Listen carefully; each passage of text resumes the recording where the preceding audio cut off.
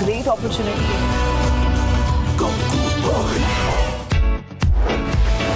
कल बड़ा मैच है ना সিবু এন্টাই Unexplainable.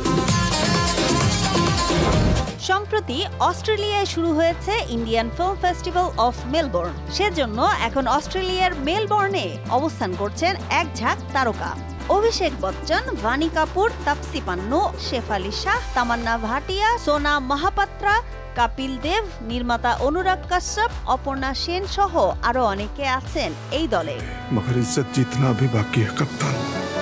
স্থানীয় সময় বারো অগস্ট জমজমাট আনুষ্ঠানিকতার মাধ্যমে উদ্বোধন করা হয় এই আন্তর্জাতিক চলচ্চিত্র উৎসবের তেরোতম আসর। চলবে বিশ অগস্ট পর্যন্ত। এছাড়াও অস্ট্রেলিয়া জুড়ে অনলাইন স্ট্রিমিং চলবে তিরিশ অগস্ট পর্যন্ত।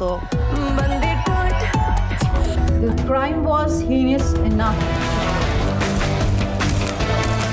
Corona মহামারীতে দীর্ঘ দুবছর ভার্চুয়াল আয়োজনের পর এবছর সরাসরি পালিত হচ্ছে এ চলচ্চিত্র প্রদর্শনী।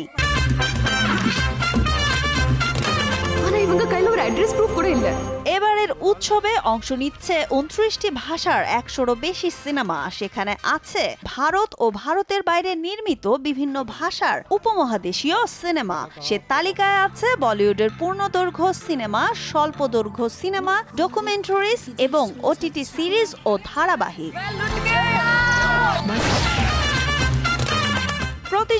জন্য এবার সেরা সিনেমার মনোনয়ন পেয়েছে এইটটি থ্রি বাধাই দো গাঙ্গুবাই জয় ভীমের মতো আলোচিত সিনেমাগুলো।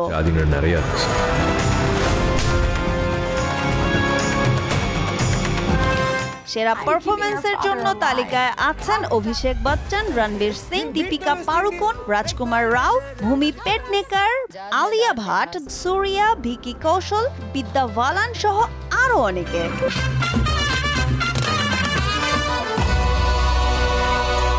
এবারের জুরি বোর্ডে রয়েছেন অস্ট্রেলিয়ান চলচ্চিত্র পরিচালক জিওফ্রে রাইট অস্ট্রেলিয়ান চলচ্চিত্র সম্পাদক Jill Bilcock Nadia Tass Australian অভিনেতা ভিন্স কলোসিমো, কান পুরস্কার জয়ী ভারতীয় ডকুমেন্টারি নির্মাতা শার্লি আব্রাহাম, ক্রিটিক্স সাংবাদিক রাজীব মাসান্ত, শুভ্রা গুপ্তা ও আনামার্সি ম্যাথিউস ভেডিকাট